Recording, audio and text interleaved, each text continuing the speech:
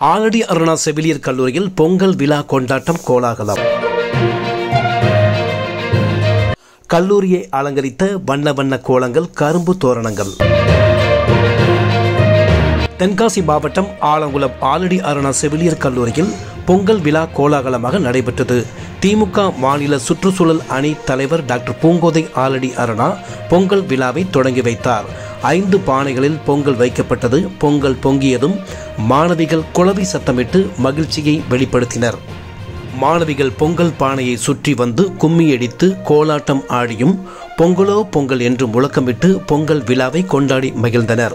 இந்த விழாவில் கல்லூரி முதல்வர் டாக்டர் மேரி வயோலா துணை முதல்வர் நிசா ஜான் உதவி பேராசிரியர்கள் கல்லூரி விரிவுரையாளர்கள் கல்லூரி அலுவலர்கள் உட்பட பலர் கலந்து கொண்டனர். இதற்கான ஏற்பாடுகளை ஆலடி அருணா செவிலியர் கல்லூரி நிர்வாகத்தினர் செய்திருந்தனர்.